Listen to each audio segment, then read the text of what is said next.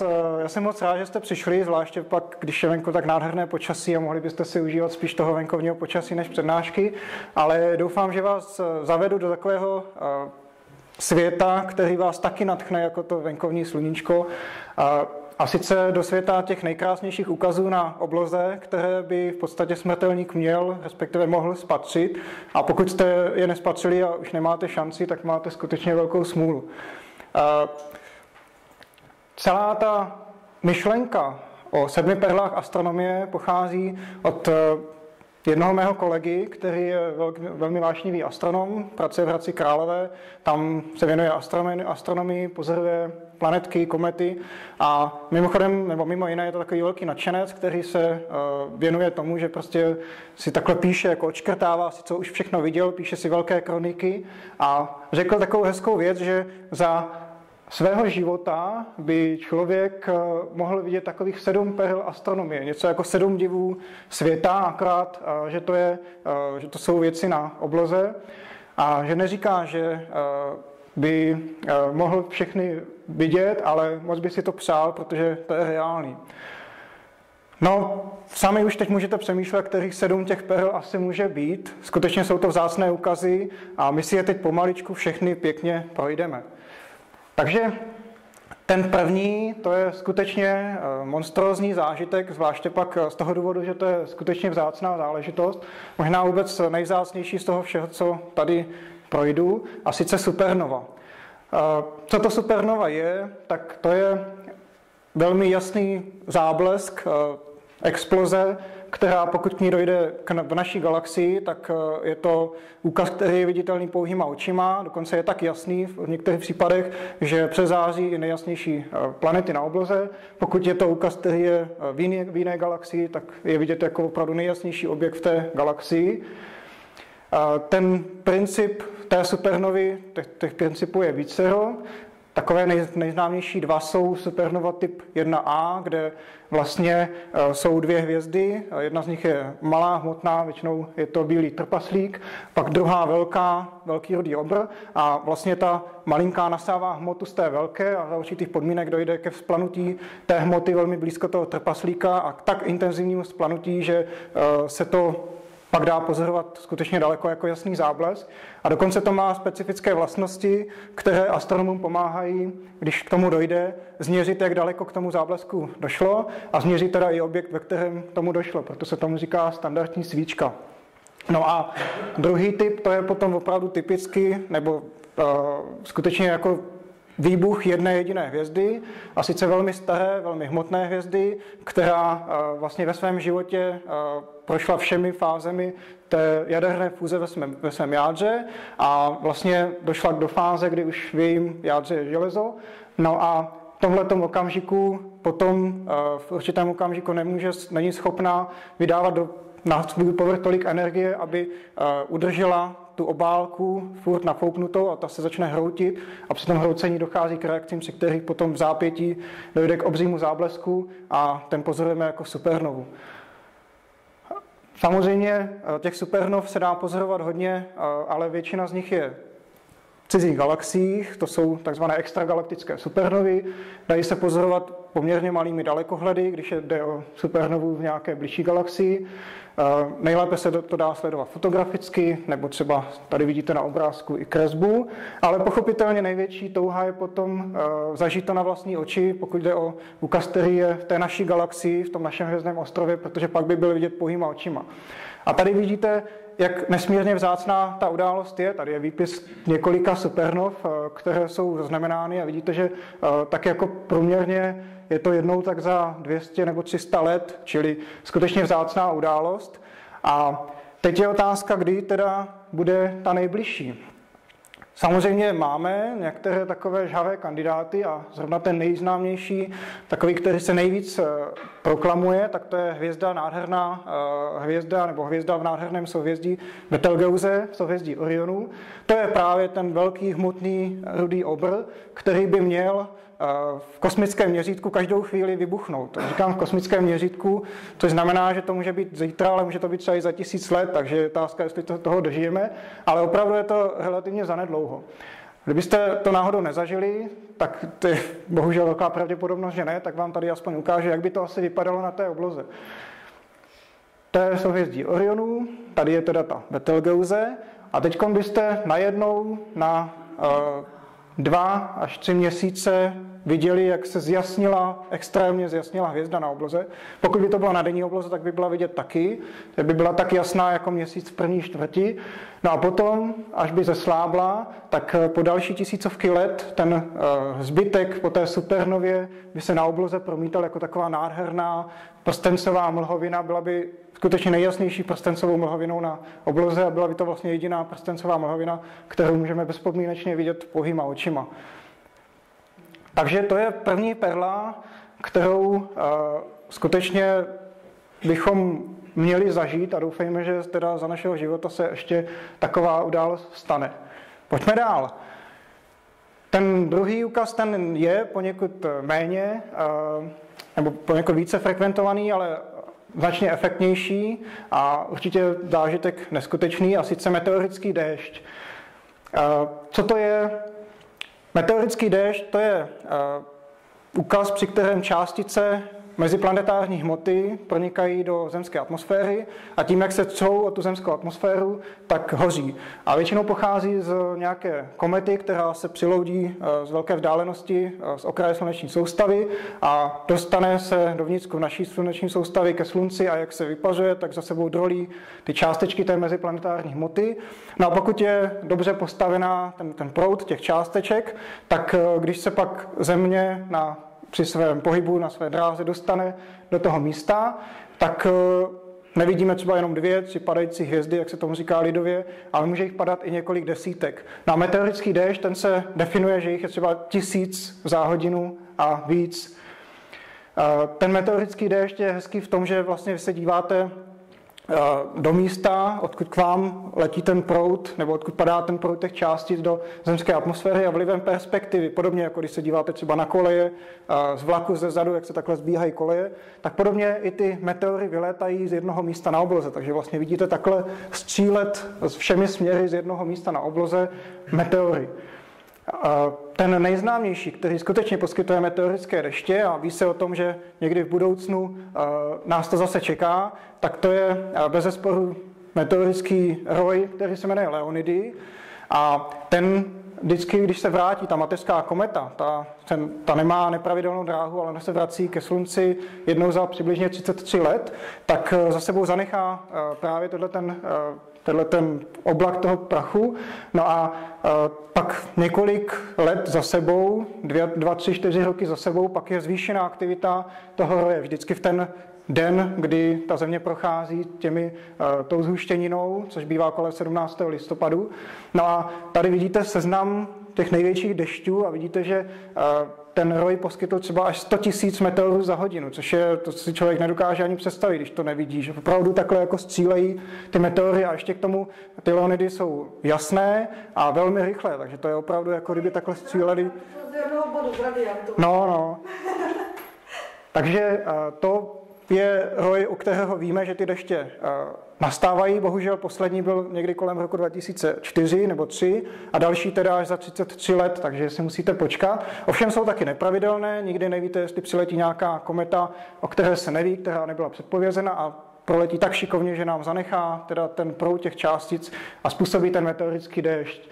No a jak pozorovat meteorický déšť? Je to velice jednoduché. Stačí mít uh, spacák, karimatku, pokud je teda zrovna zima, tak trošku lepší oblečení lehnout si teda do toho sněhu aspoň uh, pro ten větší zážitek a jenom se kochat, protože to je úkaz, který je vidět na celé obloze, nepotřebujete dalekohled a pokud z toho chcete mít nějaký záznam, tak pak je dobré mít třeba foťák, namířit to na tu oblohu a delší expozici a jak vám to tam pak pěkně létá přes uh, ten objektiv, přes to pole, tak tam máte takové nádherné stopy, jako třeba tady na tom obrázku a můžete z toho mít potom nádhernou vzpomínku. Potom značně vzácnější, když už jsme teda u těch meteorů, jsou takzvané denní bolidy, kdy vlastně podobná částice nebo částička meziplanetární hmoty, meziplanetární hmoty nebo třeba i větší kámen, teď zrovna nedávno, 15. února se to stalo v Rusku, tak eh, je vidět že při tom letu je tak jasný, že je vidět na denní obloze a teda někdy se stane i, že eh, zbytky toho kamene, že se nerozpadnou, to je to pevnější materiál, ale spadne to na zem. Ale spatřit ten samotný denní bolid, tak to je skutečně vzácný zážitek, málo komu se to podaří a teda potom eh, najít ještě ten meteorit, tak to je vůbec nejkrásnější zážitek. Tady dokonce mezi námi sedí jeden geolog, který jako už držel určitě mnoho meteoritů v ruce a řekne vám, že eh, toto je jako nádherný pocit. A co je největší vzácnost v tomto ohledu, ale trošičku nebezpečná, eh, tak je vidět meteorický déšť ve dne. Ale je to nebezpečné z toho důvodu, že většinou teda to jsou větší kusy a ty by mohly být třeba tak nebezpečné, že to popadá na zem. Naštěstí teda to snad ani nikdy v historii lidstva jako zaznamenáno nebylo.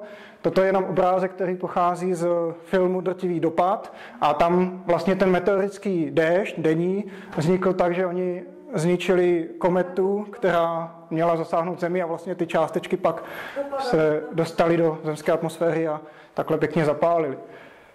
Takže to byla druhá perla. Jakou máme třetí perlu, tak to si myslím, že někteří z vás ještě živě si vybavují. Eh, toto je úkaz, který eh, má několik podob, protože máme několik planet, které můžeme pozorovat, jak přechází před slunečním kotoučem, respektive dvě planety, a sice Venuši a Merkur. Musí to být ty planety, které, které se nachází blíž ke Slunci než na naše Země. Ten úkaz je trošku nebezpečný z toho důvodu, že musíte dbát na bezpečnost pozorování, protože se díváte vlastně přímo do sluníčka a na sluníčku se vám po několik hodin promítá přecházející se kotouček planety. Pokud je o Venuši, tak je to větší, když je to Merkur, tak je vhodnější mít nějaký malý dalekohled. A proč je to tak vzácné? Vlastně ty planety obíhají kolem sluníčka po svých drahách a ty dráhy jsou v určitých rovinách a vlastně ty roviny těch drah těch planet nejsou u všech stejné, jsou různě skloněné a jsou o tolik stupňů nebo takovou odchylku skloněné, že kolikrát se stane, že při pohledu ze Země jakoby ta planeta podejde, když se nachází v úhlově nejblíž ke Slunci, tak podejde nebo nadejde to sluníčko a netrefí ho. Ale pak jsou ty zásné příležitosti, kdy zrovna se nachází na té dráze, kde uh, zrovna je i rovina té zemské dráhy, tomu se říká zestupný nebo sestupný uzel. A v tom případě ta planeta trefí to sluníčko a můžeme se dívat, jak přechází před tím sluníčkem ten kotouček. Jak jsem říkal, přechází nám dvě planety. První planeta Merkur, ta přechází o něco častěji, ale zase je úhlově o dost menší, takže je trošku problémy pozorovat, je potřeba na to mít aspoň dalekohled. Tady vidíte, jak často k tomu dochází. Je to přibližně 14 krát za století vždycky v květnu nebo v listopadu, to protože vlastně právě v tom květnu nebo v listopadu se před tím sluníčkem promítá eh, ten vzestupný nebo sestupný uzel. A potom tady vidíte na tom obrázku tu tečku toho Merkuru a vidíte, že opravdu, kdybyste se na to chtěli koukat, což zrovna se za chvíli dozvíte, že nebude za, za dlouho, tak budete potřebovat nějaký dalekohled. Tak, tady je nejbližší přechod Merkuru, který uvidíme z našeho území už za tři roky v květnu. Určitě si to napište do kalendáře, abyste eh, nezapomněli a přišli sem na hvězdách. Když já věřím, že zaměstnanci udělají velkou kampaň, protože to bude vzácná událost a hlavně to je ukaz, který bude vidět několik hodin. Takže v podstatě, kdybyste třeba nestihli na nějakou hodinu, tak stačí dorazit o něco později. No a jak je to s tou Venuší? To je krásnější. Venuše je úhlově větší, je vidět při pohledu přes bezpečný filtr očima a e, má tam akorát jeden háček, že je to značně méně časté, dochází k tomu maximálně dvakrát za století a sice vždycky po dvojicích, vždycky jednou, potom po osmi letech a potom člověk musí čekat buď to, e, tady je to napsáno těch 105 e, anebo 121 let. A Jedna dvojice je vždycky v červnu, pak se čeká to dlouhé století, pak je dvojice v prosinci a pak zase to dlouhé století. No a Víte, že teď nedávno byli v roce 2004 a 2012, čili před rokem, čili kdo z vás to neviděl, tak bohužel můžete utřít slzy, protože další uh, už neuvidíte za vašeho života a už se můžete maximálně kochat těmi fotkami. V minulosti to mělo i vědecký přínos, protože ta planeta Venuše byla docela dobře pozorovatelná už malými přístroji. Díky tomu, že ten úkaz je viditelný očima, že nepotřebovali přístroje, tak byl odhalen dřív než přechod Merkuru a pozoroval se z několika míst na Zemi a dalo se podle toho zjistit, že ta Venuše v určitém místě na Zemi byla trošičku jinde na tom sluníčku než eh, na jiném místě na Zemi a dalo se podle toho spočítat, jak je daleko ve skutečnosti od Slunce a pak podle toho se dalo spočítat, jak je daleko ve skutečnosti eh, v kilometrech Země od Slunce. Takže to mělo vědecký přínos, i když dneska už se ví, že ta přesnost byla eh, s velkou rezervou. Tak tady teda, jak jsem říkal, ten další přechod Venuše bude sice o 8 let dřív, než je tady napsáno, ale ten nebude vidět z našeho území, takže bezpečně tady z České republiky až 8. prosince 2125. Jak jsem říkal, úkaz je to eh, hezký, sledujete, jak se pomaličku eh, takhle loudá nějaká planeta na slunečním kotouči, ještě k tomu, když je tam třeba nějaká skupina sluneční skvrn, tak sledovat, poměřovat, jak ty, jak ty objekty jsou odlišné, protože sluneční skvrny nejsou úplně tmavé, to vlastně trošku září, když to planety ty to vlastně jako zatmění, tak ty to zastíní to místo. Ale musíte prostě dbát na tu bezpečnost, to znamená mít patřičné eh, vybavení, bezpečné filtry, a když tohle všechno dodržíte, tak pak teda zažijete jednu z těch peril astronomie. No a největší vzácnost, a té se teda bezpečně nikdo z nás nedožije, tak eh, jsou vzájemné přechody dvou planet, případně třeba přechod planety a ještě k tomu zatmění Slunce. A tady vidíte, kdy k takovým zajímavým ukazům dojde. Nejbližší 6757 bude přecházet Merkur přes Slunce a přitom bude pozorovatelné částečné zatmění Slunce, takže budou přecházet přes Slunce hned dvě tělesa. Takže pokud víte, jakým způsobem třeba přežít do té doby, jestli se nějak zamrazit, tak na tohle se určitě těšte. Čtvrtá perla, už se dostáváme pomaličku do té, eh, do té do vrcholu, soupáme opravdu k těm hezčím a hezčím úkazům, tak to je Eh, úkaz, který nemusím nějak mimořádně představovat. Dokonce dneska asi víte, že letošní rok je tím tak trošku podezřelý, že nás něco takového čeká, ale nebudeme předbíhat. Podíváme se tady, co to je kometa století. Kometa jako taková, eh, to je úkaz, který vzniká tak, že do sluneční soustavy se dostane materiál, nějaká, nějaké takové těleso, tomu se říká kometární jádro, jádro ledoprachové, mnohdy to nemá ani třeba kilometr v průměru a e, pochází to z velmi vzdálených končin sluneční soustavy, kde to v tom chladu vlastně je zakonzervováno. A protože jsem říkal, že je to ledoprachové jádro, tak ve chvíli, kdy se to nějakým impulzem e, dostane ke slunci, tak e, to sluníčko, jak na to září, tak se to začne odpazovat a přitom sledujeme, jak se kolem toho vytváří hlava, taková plyná, tomu se říká koma. A za dalších, eh, potom, když je to blíž k tomu sluníčku, ten, eh, to záření nebo ten, eh, to sluneční záření, ten sluneční vítr je silnější potom na, na, to, na to jádro, tak se vytváří i ten chvost a pozorujeme nádherně na té obloze takovou tu typickou kometu. Tady ještě je obrázek, co to vlastně to jádro je, jak to vypadá. Je to prostě jenom takový porazný materiál. Rozhodně bych nedoporučoval na nějakou kometu letět na návštěvu, protože jakmile se natočí ke slunci, ona velmi rychle rotuje, tak jsou tam nepříjemné a velmi nepředvídatelné gejzíry, které vás navíc při té nízké gravitaci mohou vysloveně odfouknout do vesmíru, takže na kometě to určitě není příjemné. Ale dívat se na kometu, to už je zážitek. Tohle je obrázek eh, komety, která byla v roce 2010 v prosinci nebo 11 a to bohužel jsme ji neviděli v našeho území, byla vidět na jižní polokouli.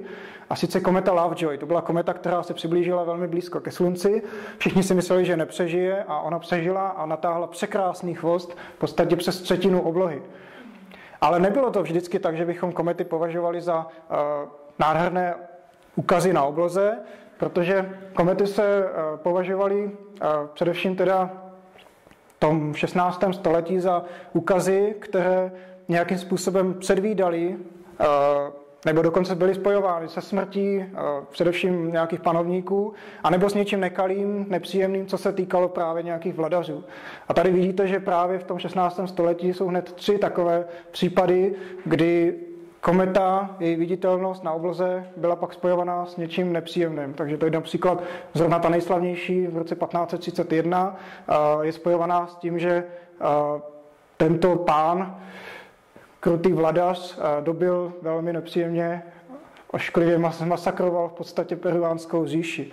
A takových případů najdete mnohem víc, toto je jenom výcud pro 16. století. Takže komety nebyly vždycky eh, krásným ukazem na obloze, až někdy do 18. století tuším, kdy se poprvé podařilo změřit, že nejde o úkaz v atmosféře, ale že to je eh, jev, nebo že to je objekt, který je velmi vysoko nad zemskou atmosférou a že to je tedy kosmické těleso. Pokud mluvíme o kometách, tak pochopitelně ta nejslavnější to je kometa Halleyová, i když už dneska uh, nám nebo v budoucím návratu určitě nepředvede takové divadlo, které by bylo hodno toho přídomku uh, kometa století. No ale uh, v historii teda jsou komety století, které jsou teda mnohem zajímavější a sice většinou to jsou komety, které zazáří tak intenzivně, že teda i třeba za těch dnešních dob by byly vidět z města, natáhnou velmi dlouhý ohon nebo jsou velmi dlouze vidět. Taková nejslavnější to je právě tady na tom obrázku kometa Ikea Seki z roku 1965, která byla velmi dlouze vidět a byla dost blízko ke slunci a natáhla intenzivně dlouhý chvost. A ten chvost byl tak dlouhý, že když ta kometa, ta hlava komety byla dost blízko ke slunci, to je takzvaný lízač slunce, že ona letěla velmi blízko slunce, tak eh, ta kometa samotná, ta hlava zapadla a přitom pak po celou noc ještě byl vidět takhle trčící ohon nad obzorem a pak zase vyšlo sluníčko a ještě předtím prostě bylo vidět, jak se postupně zvedá ten ohon.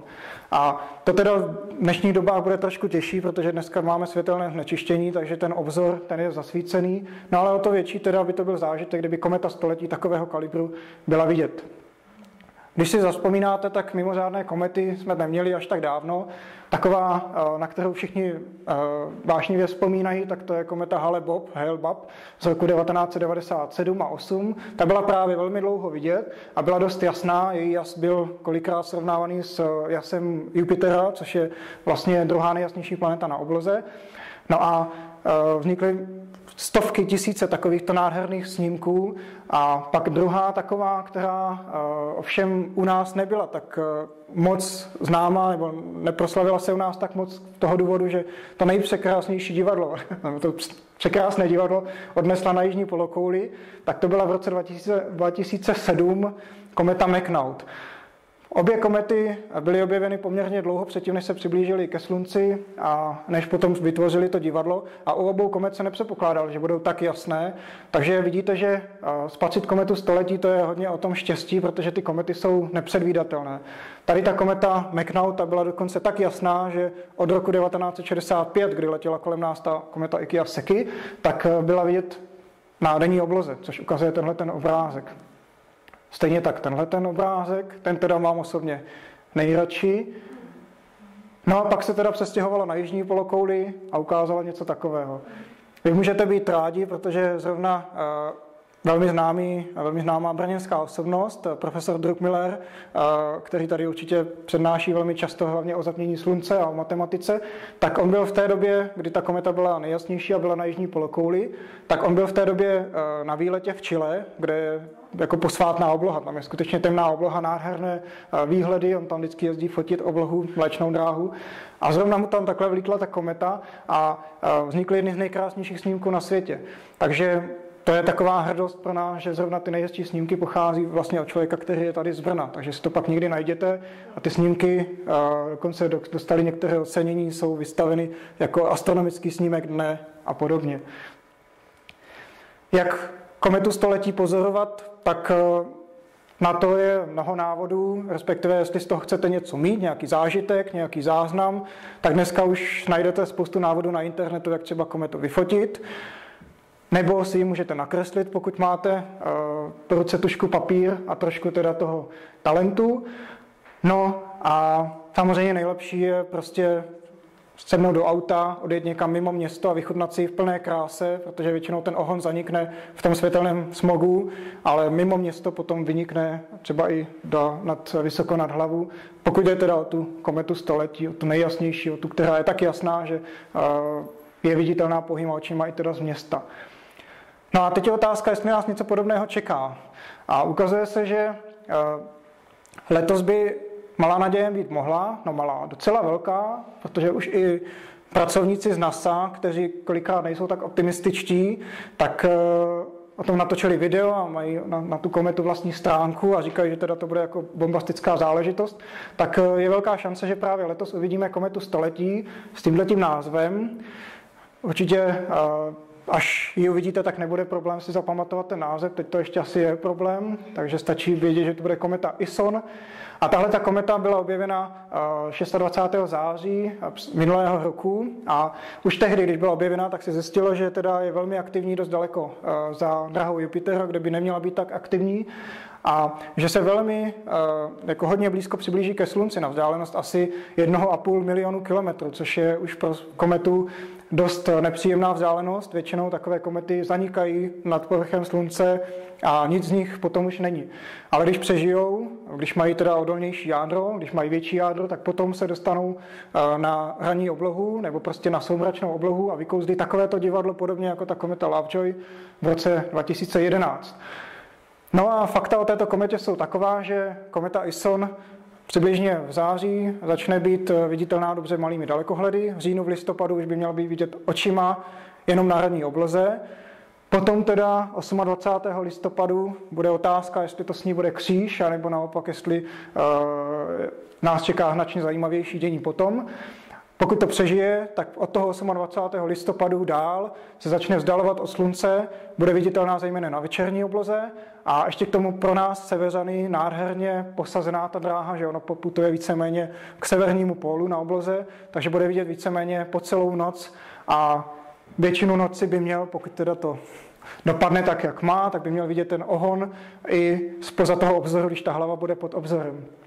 Takže to jsou vyhlídky, které nás čekají. Doufáme, že uh, astronomové to svoje optimistické ražení opravdu mají oprávněné a že teda uh, na podzim tohoto roku spatříme kometu století. Když se uh, dostáváme k tomu sluníčku, nebo mluvíme o tom sluníčku, tak pochopitelně jeden z těch nejkrásnějších úkazů, a jak jsem říkal, Stupňujeme to, já teda podle toho mého subjektivního hodnocení na páté příčce od spod nahoru, tedy vlastně, vlastně na třetí příčce, je polární záře. Kdo to někdy viděl, tak mi dá zapravdu, že to je neskutečně efektní, fantastický úkaz, který stojí za to vidět, dokonce stojí za to si za ním vycestovat. No a podíváme se teda, jak to s tou polární září je, jak vzniká a samozřejmě, co při ní se dá pozorovat. Polární záře souvisí s aktivitou slunce. Určitě jste slyšeli, že slunce eh, vždycky jednou za 11 let dosáhne jakéhosi maxima své bouřlivé aktivity. Při tom maximu dochází k největším erupcím, a, eh, nebo k nejčetnějším a při těch erupcích bývá uvolněno Tady je vidět na detailu obrázek na erupci a při erupcích bývá uvolněno obrovské množství energie a zároveň někdy se stane, že se uvolní takový uzavřený oblak uh, nabitých částic, které potom putují uh, do prostoru sluneční soustavu.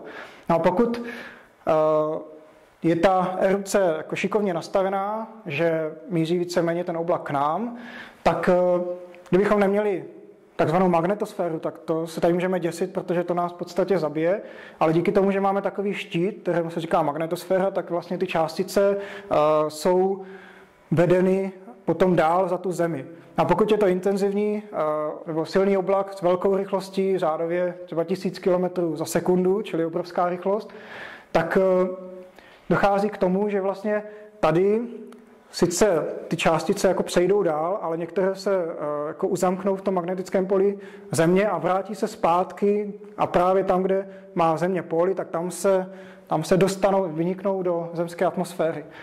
No a pak nastane tohleto. Vlastně ty částice se uh, začnou prát s těmi částicemi uh, vzduchu a takzvaně interagovat a přitom dochází k uvolňování eh, záření, které my sledujeme právě jako ty nádherné vlny eh, polární záře. Je to mimořádný ukaz, je to ukaz, který je dynamický. Eh, obrázky kolikrát neukážou tu nádheru toho, protože vy vidíte, jak se postupně takhle třeba mění ta zelenavá stěna. Eh, jsou tam různé útvary, někdy třeba most, pak jsou tam třeba šipky, které se roztahují, eh, takové vrtulky, čili vlastně spoustu věcí se děje a vy jenom prostě takhle koukáte a to je bomba. Takže to, co ta příroda přitom nastaví, tak to je zážitek, který skutečně stojí za to vidět. A to, co na tom je ještě efektnější nebo krásnější, je to, že to není jenom jednolitá jedna barva, Nejčastější je právě ta zelenavá, ta fosforová, ale potom jsou tam ještě další, teda zejména na červená. Proč jsou tam tyhle barvy? Jak jsem říkal, dochází tam k té interakci těch nabitých částic s tím vzduchem a přitom se vlastně přitom dochází k určitým specifickým druhům uvolňování energie na molekulách nebo atomech vodíku a dusíku. A každá ta barva vlastně náleží jedné té konkrétní interakce, respektive jedné té uh, energické hodnotě, která bude vyzářená právě v této barvě. Takže vidíte, že díky tomu, že tady máme kyslík a dusík, tak díky tomu máme i ty záře takto hezky barevné a uh, vidíme, že těch barev je tam teda víc a dochází tam k více reakcím než k té jedné konkrétní. Bohužel z České republiky teplární záře nejsou vidět tak často a sice z toho důvodu, že ten severní magnetický pól je blíž nakloněn k Americe, takže kdybyste stáli v Americe na 50. stupni severní šířky, tak máte mnohdy větší šanci tam polární záři spatřit a skutečně to tak je, že ty záře prostě zasahují do těch míst, jako je třeba Colorado, Atlanta, i když ty jsou ještě níž, ale prostě do těch míst, které kdybychom otočili tu země kouli, tak nám ne. Tady je to vidět na názorném obrázku, tyhle ty pásy, to jsou takzvané KP indexy a to jsou vlastně takové linie, hranice, odkud můžeme pozorovat polární záři, pokud dojde k určité, eh, pokud je určitá intenzita té erupce plus ještě další podmínky, které souvisí s magnetickým polem Země. Čili ta červená, to je ta, která eh, vlastně u nás, když ta erupce je opravdu silná nebo je jich víc, tak až ta nejintenzivnější eh, erupce a pak teda i ty následující efekty s tím související, tak ta může vykouzlit záři z našich zeměpisných šířek, když to v Americe potom stejná intenzita zasáhne mnohem jižněji. České republice eh, těch září jsme mohli vidět několik, čili není to až tak úplně vzácná událost. Vždycky je to právě okolí maxima sluneční aktivity. Vidíte, že ty eh, nejzasší ty pochází z roku 2011, eh, kdy byly dvě takové intenzivní erupce, tahle ta zrovna ta byla už docela pěkně vidět, bylo navíc jasno a nesvítil měsíc, ale je to zrovna úkaz, který eh, se nedá předpovědět, musíte sledovat nějaký internetový portál, kde sledujete v podstatě každý den aktivitu toho sluníčka a samozřejmě zjistíte i, jestli tam je nějaká šance té polární záře. A k tomu vám můžu doporučit tuto skvělou stránku www.spaceweather.com jako vesmírné počasí. Tam jsou skutečně informace z první ruky, aktualizované. Navíc tam vidíte eh, online snímek sluníčka, skvrn, pod tím jsou ještě informace o tom, nebo nad tím, jaké erupce tam eh, byly. Jediná nevýhoda je, že to je v angličtině. Takže pokud třeba nevládnete angličtinou, tak si to třeba nechte od někoho přeložit a potom na základě toho už můžete zjistit, jestli teda je šance sledovat polární záři u nás. No a teď už pomalu přecházíme eh, k takovým mým osobním srdcovkám. Já se budu snažit to neprotahovat, ale znám se, že zrovna toto jsou dva uh, ukazy, které jako velmi vášnivě popisuju. První z nich je úplné zatmění měsíce. Nikoli zatmění měsíce, ale úplné zatmění měsíce. Těch zatmění normálně bývá častěji víc, ale samotné úplné zatmění měsíce, pokud jste o něm někdy slyšeli a tvrdíte, třeba nebo máte dojem, že to je jenom úkaz, při kterém zmizí měsíc, tak to je obrovská mílka a naopak to úplné zatmění měsíce je úkaz, který stojí za to vidět a patří nále, nebo náleží právě mezi ty perly astronomie. Vzniká to poměrně jednoduše. Měsíc jako bíhá kolem Země, má eh, podobně jak jsme byli u těch přechodů planet, tak má skloněnou dráhu vůči rovině, na které obíhá Země kolem Slunce o, nějaký, o nějakou odchylku, konkrétně asi 5 stupňů. A ta odchylka je větší, než je úhlový proměr stínu Země, který vrhá Země do prostoru. A když tedy úplněk se dostává do blízkosti, kde by mohl být zemský stín, tak častěji ten stín mine. Takže my ani nevíme, že tam ten zemský stín je. Ale stává se tedy dvakrát, eh, no, jednou za, eh, já bych nelhal, tak jednou za rok a půl eh, se stane, že opravdu se dostane přímo do toho zemského stínu a pak se teda dějou hezké věci. tady to je ukázka toho, že zase prostě podobně jako u těch přechodů planet, měsíc, aby se dostal do fáze, kde bude eh, šance vidět úplně zatmění měsíce, tak musí být na své dráze na tom zestupném nebo sestupném úzlu, tedy na takové části té dráhy, která leží v rovině, na které leží i ta země a to sluníčko. No a ten úkaz je hezký už při té fázi té částečné, kdy prostě vidíme, že měsíc koule úplně vstupuje do zemského stínu, což je vlastně taky koule. Je to prostě promítnutý zemský stín a dají se u toho dělat takovéhle experimenty. A ten zemský stín je eh, nádherně kulatý, když potom třeba udělá takovouhle mozaiku, tak vám to dokáže. A tohle toho využil už Fernando, Fernando Magalhães, který eh, při pozorování zatmění slunce eh, řekl své posádce, která byla vystrašená, že na cestu kolem světa se můžou v podstatě spolehnout na to, že jdou na smrt, tak jim ukázal ze zatmění měsíce, že uh, to je uh, takže země je prostě koule a tím pádem nemůžou jako nikam zmizet, můžou maximálně zemi obeplout. Ale to, co je na tom úplném zatmění měsíce mnohem uh, zajímavější, je to, co se děje, když ten měsíc vstoupí do toho zemského stínu. Jak jsem říkal, ono nezmizí, protože uh, velkou a v podstatě hlavní roli v celém tom dění hraje naše zemská atmosféra. A ta způsobuje to, že jakmile se měsíc dostane do zemského stínu, tak ta atmosféra funguje podobně jako třeba optický hranol a láme sluneční světlo, které putuje vlastně z druhé strany, tak láme dovnitř do toho stínu. Nejvíce se rozptyluje modrá barva, proto máme modrou oblohu, a naopak nejméně se rozptyluje červená, to se v podstatě jenom láme a zasílá dovnitř do toho stínu. A ten měsíc má proto takový zvláštní nahrudlý nádech. A kdybyste stáli na měsíci, nebo kdyby tam byl nějaký kosmonaut zrovna, tak by viděli, jak slunce postupně mizí za zemí a pak najednou se kolem země udělá takový krásný načervenalý prstýnek, tak jak to je vidět tady na tomhle obrázku. A kolem vás by byla taková krvavá krajina. I jako komety ten měsíční, to měsíční zatmění bylo obsedeno mnoha legendami. Nejhezčí je taková, že Majové se domnívali, že při zatmění měsíce měsíc požírá jaguár a Podobně jako s kometami, i to zatmění měsíce mělo velmi dlouho, ale poměrně oprávněně, takový ten sejch, že jde o ukaz, který nějakým způsobem přináší hrozbu smrti. A to je pochopitelné, protože to má takové to načervenalé zabarvení, takže mnohdy to bylo spojeno s nějakými nekalými událostmi, nepříjemnými, například s smrtí, předvě smrti eh, Cezara nebo třeba i ukřižování eh, Ježíše Krista.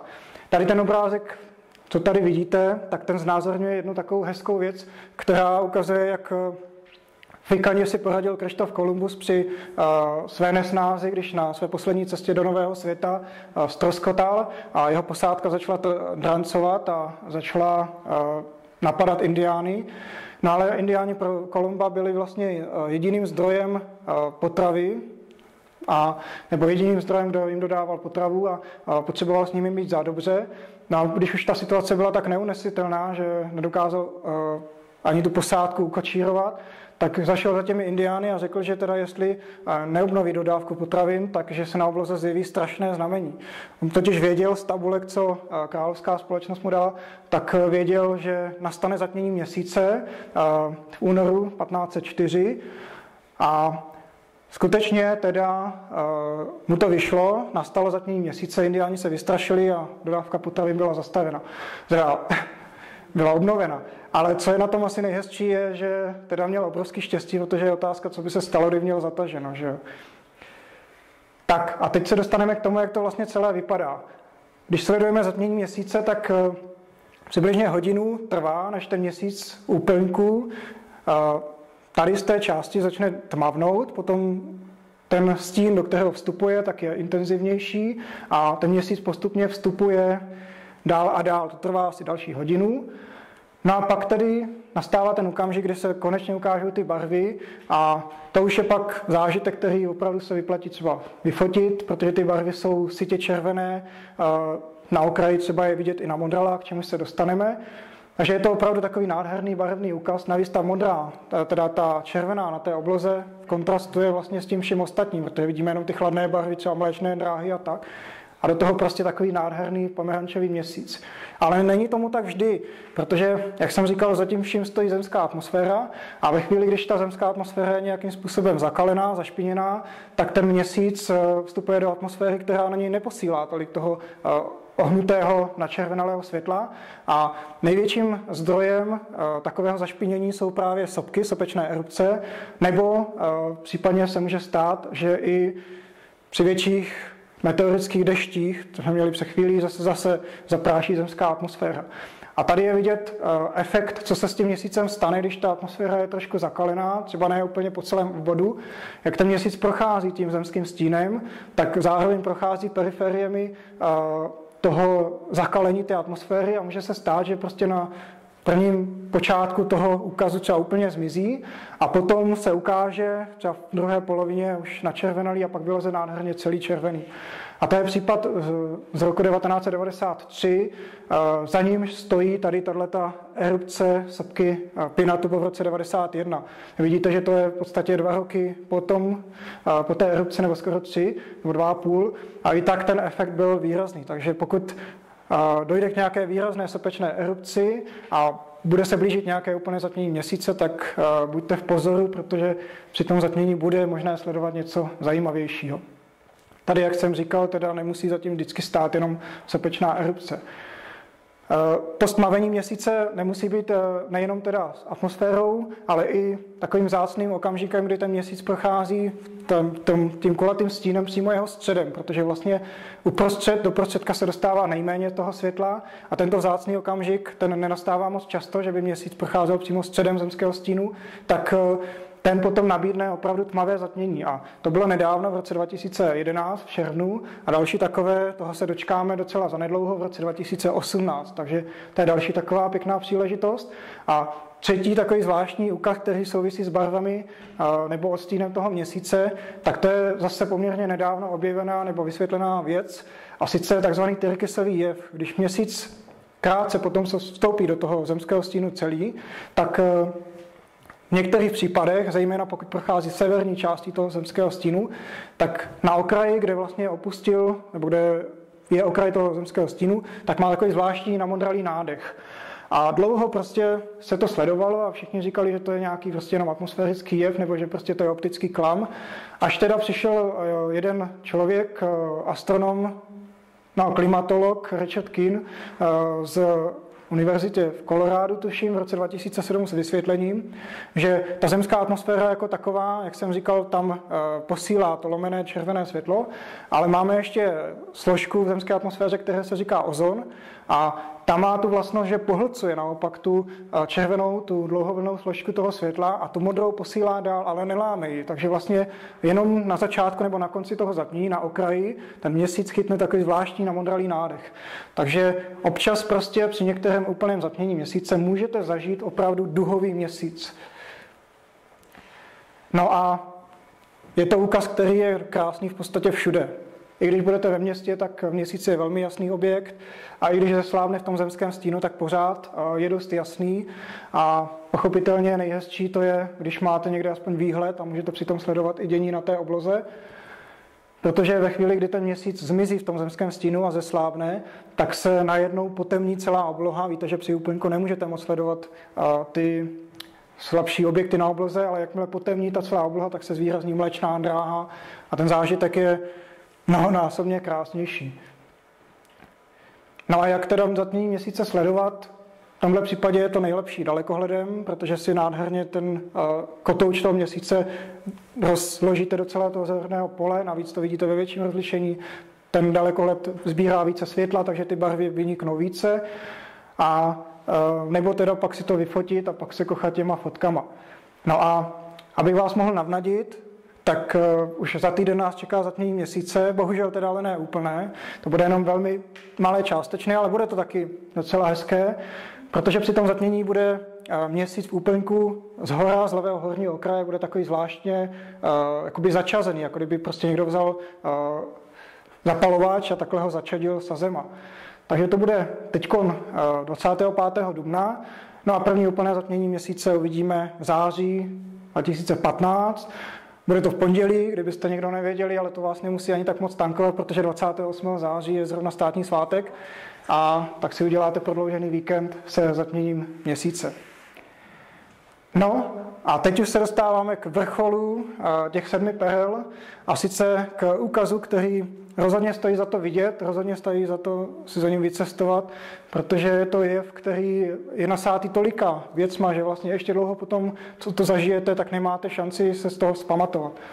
Úplné zatmění slunce je velmi příbuzný úkaz eh, měsíčnímu zatmění, akorát, že měsíc je na druhé straně eh, své dráhy. Když je teda zrovna patřičně blízko, protože jeho vzdálenost... Je to vlastně.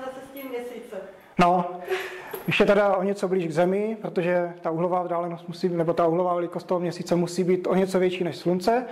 A ve chvíli, kdy se dostanete do místa na Zemi, kde měsíc vrhne, kam měsíc vrhne svůj stín, tak můžete sledovat úplné zatmění měsíce, teda Slunce.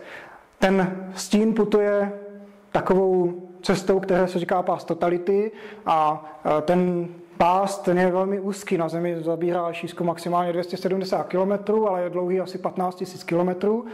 A abyste teda viděli zatmění slunce úplné, pokud má nastat, tak se musíte vydat opravdu do toho pásu totality. Těch pásů totality no, už dneska víme, jak se to dá spočítat. Věděli jsme to přibližně už před dvěma a půl tisíci lety díky Chaldejcům. A máme už dneska perfektní předpovědi, kdy a kde ta zatmění budou. Tady vidíte mapku, jak ty pásy eh, v následujících tuším eh, no, do roku 2035, jaké pásy totality budou eh, na Zemi. Vidíte, že v Evropě teda máme velkou smůlu. Jediný takový pás totality bude v roce 2026 a konkrétně zatmění ve Španělsku. Podobně jako zatmění měsíce a komety, i to zatmění slunce bylo chvíli předzvěstí nějakého, buď to byl symbol něčeho, co se má stát, anebo to zase byla předzvěst nějaké apokalypsy. Většinou to byl tak významný úkaz, tak efektní, že se o něm sáhodlouze mluví třeba v básních, v kronikách a je třeba hezká, nebo jeden z takových, jeden z takových faktů je, že zatmění slunce, které bylo jakoby předposlední, viditelné u nás na dnes, dneska v České republice, tehdy to ještě Česká republika nebyla, tak to bylo v roce 1415, 7. června, a to bylo jenom zhruba měsíc před nechvalným upálením mistra Jana Hausa.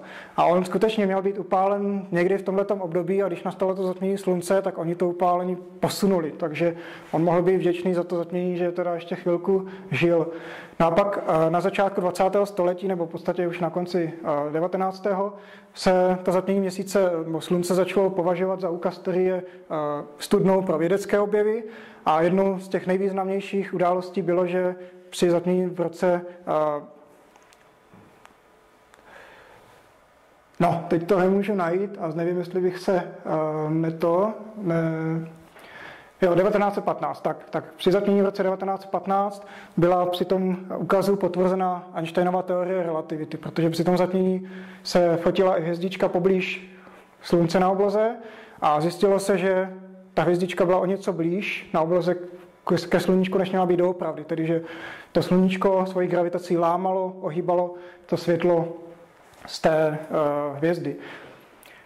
Co je na tom zatmění nejzajímavější, je když to zatmění nastane, tak vy vidíte kolem takový paprskou, takovou paprskovitou obálku a tomu se říká korona. A do dneška se pořádně neví, uh, proč když se zjišťuje, jak je to vlastně s sluníčkem, tak se ví, že uprostřed toho sluníčka je velká teplota, 15 milionů stupňů, pak ta teplota stoupá, teda klesá, klesá, pak někde na povrchu eh, klesne přibližně k 6 tisícům a pak se zjistilo ze spektra eh, té korony, že zase vystoupá velmi vysoko až k milionu stupňů Celsia. Takže to zatmění eh, dneska má stále ten kredit pro ten vědecký přínos, protože ten výzkum korony, byť teda dneska umožňuje družice, tak pořád při těch zatmění je nejlepší, protože se dá sledovat přímo i dění velmi blízko toho okraje toho slunečního kotouče.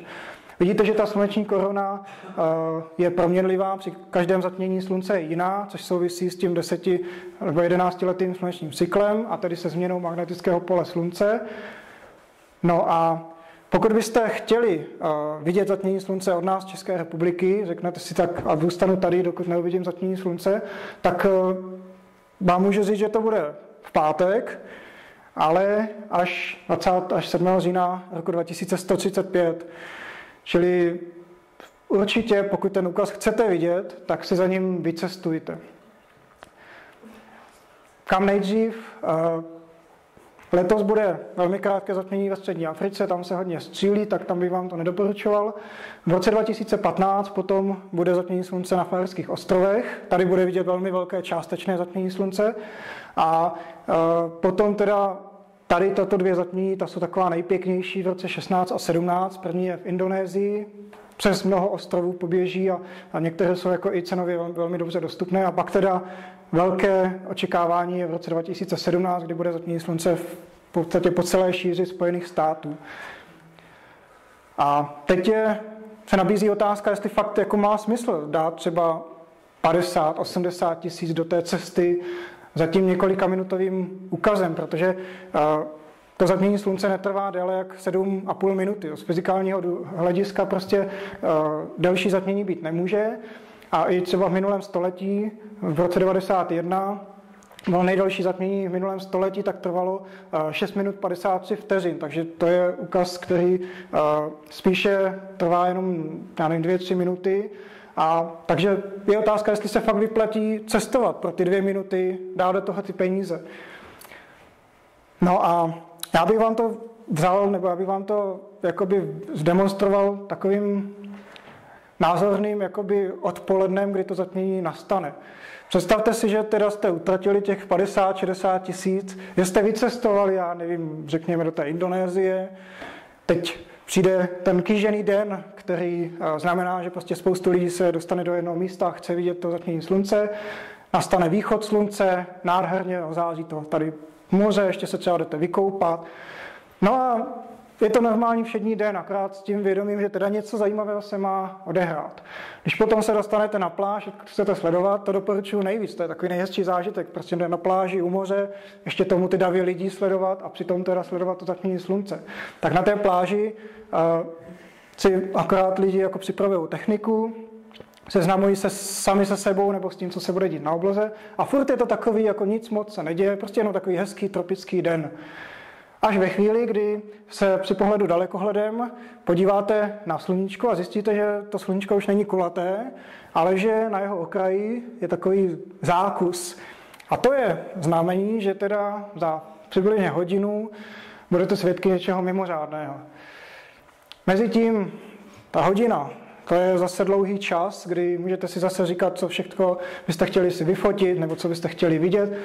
Ten měsíc postupně ukusuje, to sluníčko Připomínám, že teda jsme v ideální situaci, kde není vůbec zataženo. Jo? Jsou chvíle, kdy prostě pak se nervózní, že se pořád hodně mraky a pak z toho moc nemáte. Ale sledujete to sluníčko a teď se díváte třeba i na zem pod uh, nebo třeba děláte takovéto pokusy, protože ve chvíli, když si třeba zatnete pěst a necháte projít jenom skrz eh, malou skulinku v pěsti světlo, tak se vám na čemkoliv bílém nebo světlejším promítne ne kolečko, ale srpeček sluníčka.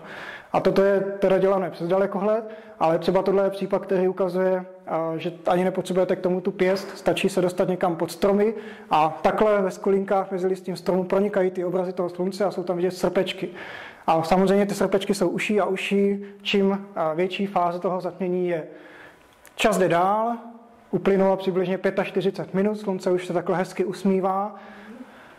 A teď nejhezčí skutečně je poslední, řekněme, 15 minut, protože eh, v těch 15 minutách před tím zatměním slunce najednou vidíte, jak jsou fascinovaní i ti lidé. V tu chvíli, eh, kdy se odstnete na nějakémkoliv cizorodém místě v Číně, v Tajsku, tak vlastně každý ten stát nebo každé, každá ta civilizace má trošku jinou mentalitu, jinak na, to, na ten úkaz reaguje.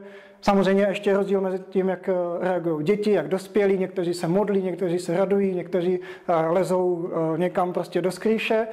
Prostě je úžasné sledovat ty lidi a nechávat se tím unášet, ale pochopitelně nesmíte zapomenout ani na to, co se děje na té obloze, protože pak nastane přibližně dvě minuty před úplným zatměním slunce okamžik, kdy se na vás začne nasouvat velmi intenzivně ten měsíční stín. Ne tak tmavý, že máte pocit, že jako kdyby se na vás hnala bouřka. Akorát, že nikde neprší a že obloha chytá takový zvláštní, uh, takový ten, no našedlo, našedlo na modrelý nádech, uh, který... Utichne, taky všechno utichne, ptáci a všechno utichne.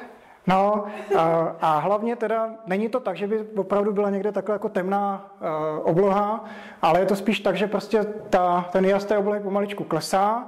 Mraky teda jsou třeba ještě furt světlejší, protože ty rozptýlují toho světla, uh, toho sluníčka, i když je takový dlouhý srpeček hodně. No a pak v tom okamžiku těsně před tím zatměním už vidíte, jak prostě ten obzor Eh, kam se ten stín nasouvá, tak je značně světlejší a nad vaší hlavou už je ta obloha značně tmavší. Vidíte najednou i nějaké planety, případně nejjasnější hvězdy a kolem dokola, všude kolem dokola, Vidíte takový zvláštní uh, přechod duhova do duhova, podobně jako při soumraku, protože vlastně vy jste uprostřed toho zemského, toho měsíčního stínu.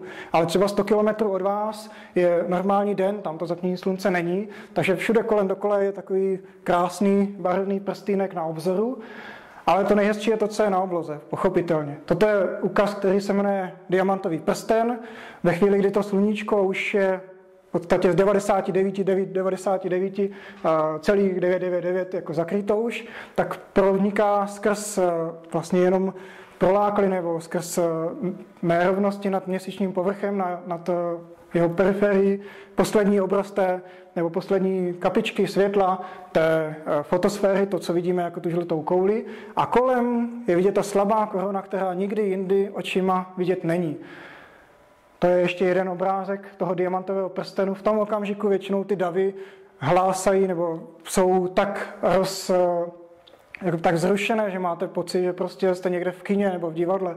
Kolikrát třeba i tleskají, jo, že to je prostě zážitek se vším všudy.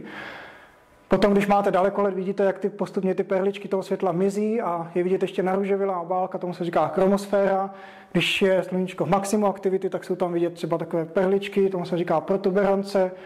A pak už jenom nastává několika minutové ticho, úžas, dokonalý zážitek, při kterém vidíte slunce, černé slunce kolem krásné paprsky, vypadá to jako kytička na obloze. A díváte se jenom, snažíte se to zaznamenat, snažíte se to vstřebat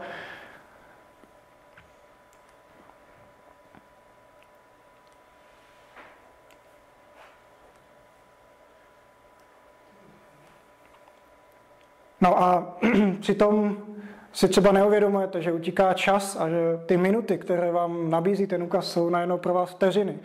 A ve chvíli, kdy to skončí, tak máte pocit, že, že, že potřebujete ještě jednou, jo? že prostě jste to ani nestihli si to všechno vychutnat. A fakt je, že jakmile to jednou vidíte, tak je to jako nemoc, jako, jako vyroza, že vás to chytí a už vás to nepustí a potřebujete to vidět znova, navíc po každé je to jiné.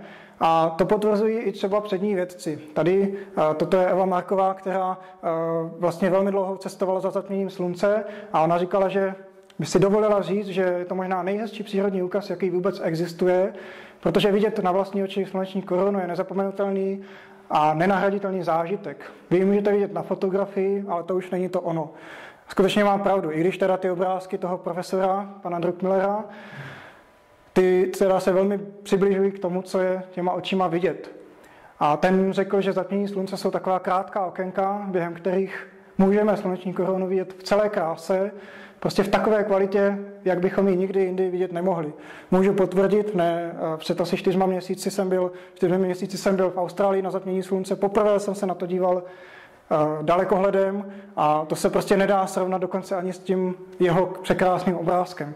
Všem ten nejkrásnější citát, který opravdu zhrnuje všechno eh, o tom úplném zapnění slunce, o tom okamžiku, o tom zážitku, tak řekl že dneska zesnulý eh, astronom, amatér, popularizátor astronomie Václav Knoll, bývalý vedoucí na Pardubické hvězdárně, a ten krátce po zatmění slunce v Turecku jen tak jako seděl na té pláži a, a jenom vzpomínal a já jsem se s ním pak o tom bavil.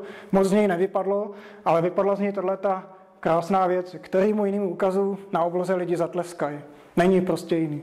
Skutečně to je ukaz, když skončí zatmění slunce, tak slyšíte jás, slyšíte tlesk, potlesk toho davu těch několika tisíc lidí v tom zástupu a fakt jenom ten zážitek, že jste byli toho součástí, tak eh, ten vám zůstane na celý život a pro tyhle zážitky teda opravdu má smysl.